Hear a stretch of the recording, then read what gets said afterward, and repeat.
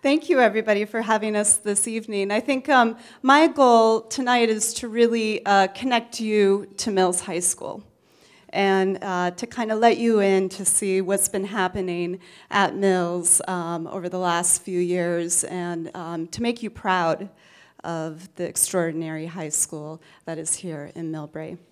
I wanted to start by thanking the Lions um, for your generous support of Mills High School.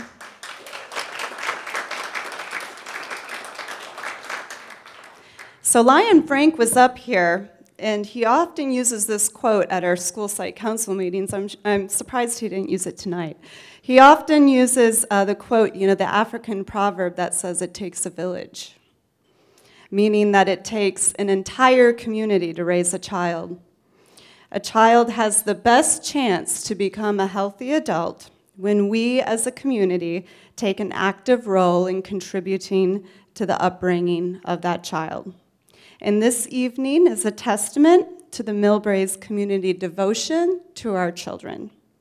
From elementary through middle and high school, we all play a vital role in shaping our youth to be healthy individuals that are active and engaged citizens. And it goes without saying, after everything that I heard this evening, that if we made a list of our collective support of the people sitting in this room tonight for our Millbrae Public Schools, that list would be quite impressive. Our community is doing its job as a village. It is my honor to give you an update on the Viking Village tonight and those things we are most proud of. So, Mills will turn 60 next year. Students had their first assembly in the center courtyard in 1958. The school opened with no lockers, mounds of dirt in the center courtyard, a first dance, which was a sock hop, themed New Faces, and the mighty Viking was chosen as the defining symbol of the school. And on the first slide there was the original Viking logo taken from the school's first yearbook, the Asgard, in the spring of 1959. And needless to say, the mighty Viking remains a fitting emblem for our school. Mills is a school that is close knit, a word I just heard many times in the last speech, a close knit school with a fighting spirit. And essential to our journey is the partnerships that we have with our fellow elementary and middle schools, and you, our civic partners, present this evening. Kelvin shared with me the history of the Millbrae Leos. The majority of them have been from Mills. The Leos of our student tonight. The Leos were established in 2007 and they've raised over $50,000 and invested nearly 15,000 hours of community service in Millbrae and across the globe. That's outstanding work by young people in the last 10 years. I want to thank uh, the Leo advisors, uh, John Muniz and Jan and Mike Rao for working with our Millbrae youth.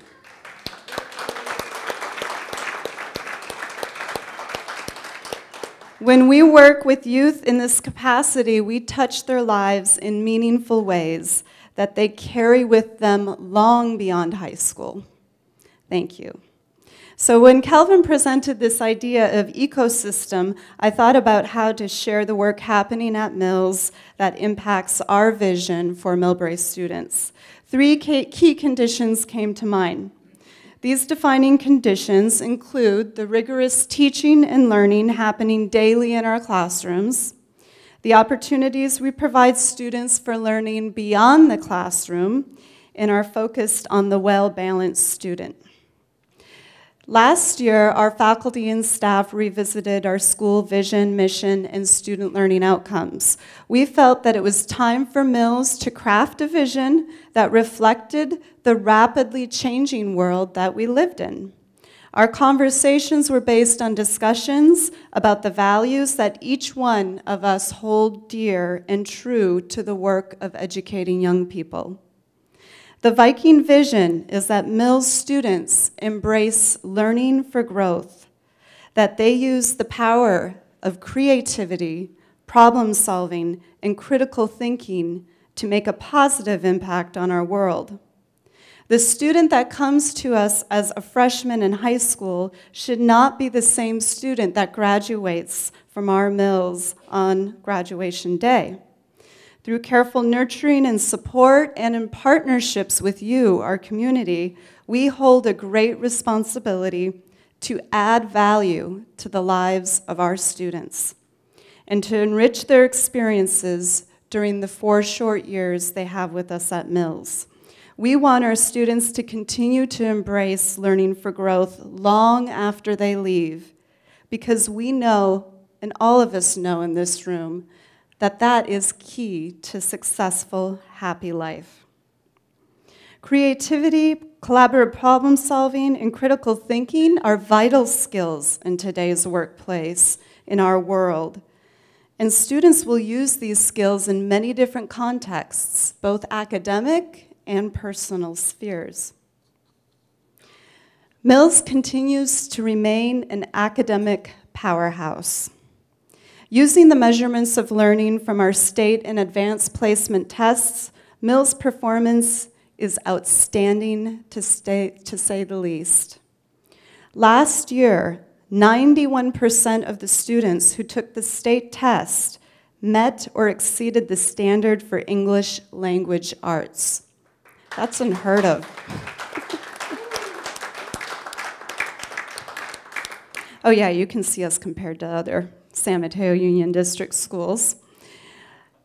75% met or exceeded the standard for math.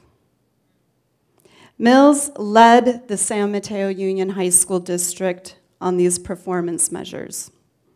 On AP exams, nearly 80% of the students who took over 800 exams, the largest number in the school's history, scored proficient or above. In addition, Mills continues to remain at the district schools, at the top of the district schools, with over 70% of the, the seniors graduating A through G ready. That means that they are meeting the admission requirements through UC CSU system. As interest continues to rise by our students in STEAM-related fields, we strive to meet the students' demand for courses offerings in classes such as biotechnology, computer science, engineering, art and multimedia, and advanced mathematics. Some of these course offerings are supported directly by our parents who donate to our annual fund. We've partnered with the TEALS programs to bring computer engineers into the classroom so students can learn from industry professionals directly. This year, for the first time in Mills history, nearly 50% of the students taking woodworking are female. Woodworking has changed. It's now a design concept course. We've created a designated space, a maker's space, for our student clubs, such as the Mills Robotics team, to build and tinker and experiment. And just recently, the team applied for and won a grant from the HP Foundation to add equipment into the makerspace. Our science program, with the generous support again of our annual fund and our parents, is one of the best supported programs in the district, with more students successfully taking UC CSU science courses than any other district school. But Mills also believes in learning beyond the classroom. While we uphold the rigorous teaching and learning happening in our school, we actively promote and build upon our student clubs, our music program, the arts, and athletics. Our new band director has added to the music program Jazz Ensemble, which saw program participation triple since last year. He is well on his way to building a legacy music program at Mills. I continue to be proud of our drama and theater program and the success we've had in building a drama program that reaches deep into the creative side of our students and brings out not just those confident students, but those students who are reserved and held back and brings out their creativity and confidence on the stage. Each spring, nearly 150 students participate in our musical, from tech crew to pit orchestra to, to cast. I look forward to growing this program in the future so students can continue to explore their creative selves on stage. 50 student clubs meet on a regular basis at Mills. This leads to a vibrant student culture where our students learn leadership, agency, and how to make an impact. Contrary to popular belief, Mills is very much an athletic school. we are one of the few schools in the county that is able to compete with four water polo teams and have one of five boys volleyball programs in the country. Our excellent athletic facilities allow us to host CCS tournaments and invitationals, many of which we participate, such as the girls' basketball playoffs last year. Mills has one of the three largest girls' wrestling programs in the county. The most successful divisional swim program for the past two years, and we consistently send individual state qualifiers for cross country and track and field. Many of our dedicated coaches are well regarded community members, parents, and faculty and staff. Nearly one third of our student body participates in one or more sports. Student well being and social emotional learning are also a growing focus for Mills. Our new in house wellness program is in its second year, providing supports and resources to families and students. We've partnered with outside organizations such as Challenge Success in Stanford to put student well-being at the forefront of our work. A new flex time period is part of students' weekly schedule in an effort to give them time within the school day to access supports. Mills is a district model for homework policies, something that we are working on to address across our district in order to better help students feel better balanced. Last week, in recognition of October and Mental Health Awareness Month, a student-led assembly was presented to our students. Multiple parent events help us educate our families about student well-being, so supports are in place both at home and at school. So make no mistake, I love Mills, and I wholeheartedly devote my work to making Mills a rich and transformative place for Millbrae students. This is my commitment to you, our Millbrae community. I believe I can speak for my esteemed colleagues representing our Millbrae schools in this room tonight that we are willing to devote our hearts to this work because this community values learning and supports our public schools. Tonight is a testament to that value we collectively hold.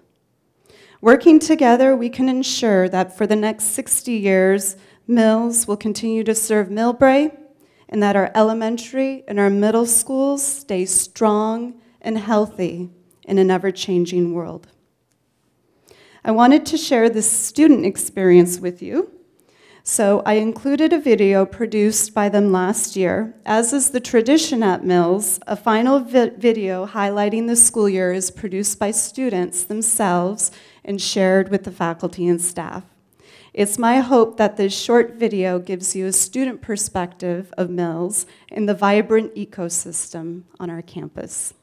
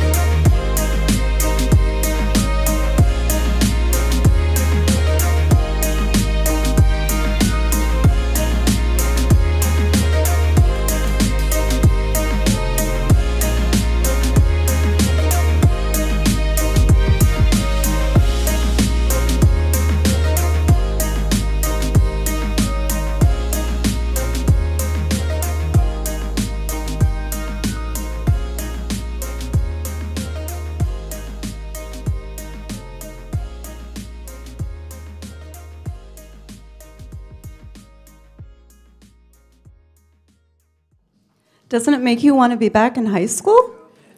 Yeah? Come join us. We're having lots of fun. Thank you.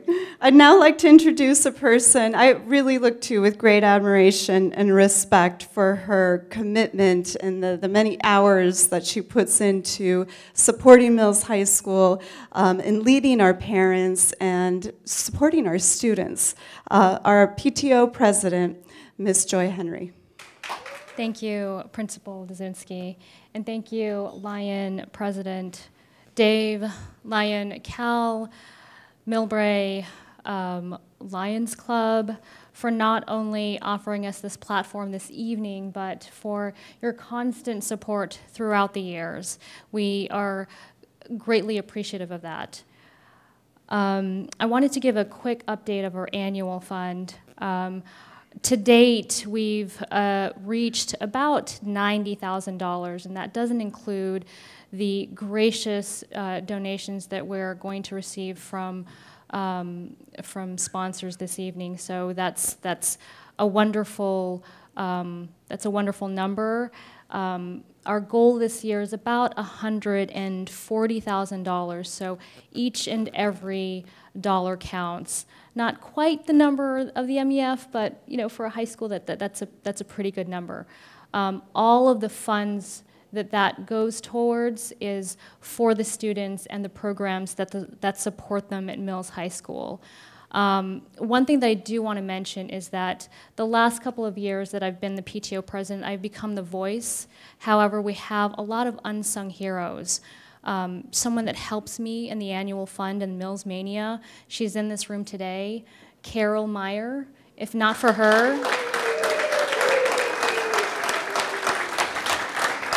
She does, she does a lot, a lot of work behind the scenes. And, and Maura and Karen, you're very familiar with the fundraising that goes behind you know, fundraising, and she is, is very instrumental and very key. Um, this is her last year because she has a senior at Mills, so if anyone knows anyone that can help, bring them my way. Um, Principal Dzunsky did a wonderful job of giving an update of where we're at at Mills, so I'd like to keep I'd like to keep my speech more on a, a personal level. And, and Frank kind of mentioned he, you know, he reads my parent newsletter and Cal as well. And if, if, you're, if anyone reads that, that's, that's my strength is kind of bringing people in because I, that's what I do is I have to let you know where I'm coming from because I'm a working parent. I have three kids. And I do this because I do it for the kids, I do it for the community. And I thought, how am I going to get people to support Mills if I don't let you know, one, why I do it and where I'm coming from and why this is important? So I'm going to bring you back three years when I started. And, and we sat at a table with Pam when she was assistant principal. And it was summer because um, if you don't know, the administration and, and a lot of people here in administration, they work over the summer. So the the meeting was supposed to be an hour long. I think it went three hours. And what we wanted to do was come up with kind of a theme of how we were going to take us into that year. What I didn't know, it, it would actually take us into three years into that where we are today. So I want to share that with you, and I think a lot of you, this will resound with you. Um, and and one of those one of those things that we kind of keep key today is community, the importance of community. And for us specifically, that's the Mills community. That includes past and present students, it includes parents, it includes the staff, which is the administration, teachers, and it includes the district. All of those folks are key.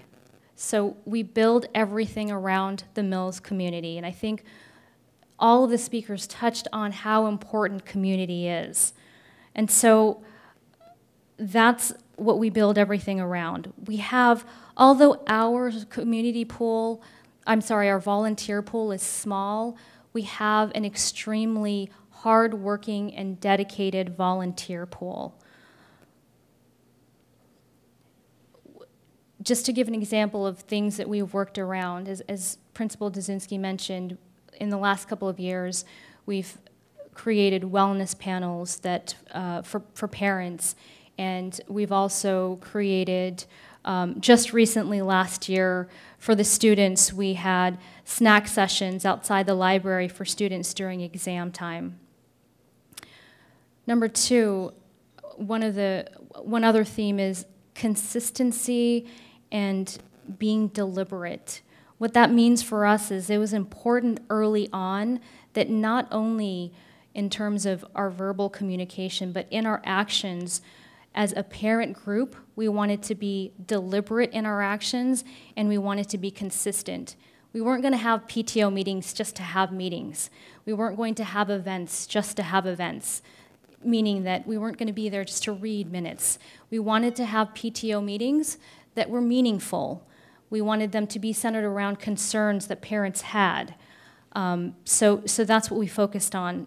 A huge example is the annual fund for Mills isn't centered around a number that we're trying to hit. What we want to try to tell parents is, is that it's important for 100% participation. So we try to drive that home regardless of what your income is, what your income level is, every parent needs to participate because every student is affected by that annual fund, meaning that every student can, can, can get something from that annual fund. So that's key for us, is that 100 participation is important. And lastly, kind of drawing from those two themes, is that it's important that every parent volunteer every student, every staff member understands that we are focused on the students first and foremost and their well-being. So that's what we want to focus on and that's what we're it's it's not about politics, it's not about ego, and if you have that, please don't join. we want to make sure that you are first and foremost focused on the students and their well-being and I think that's why we we work well together. We've all become friends is because we're first and, first and foremost focused on the students. I ended my first term last year and I decided that my work is not done, so I'm taking on a second term, hopefully onto to 2019.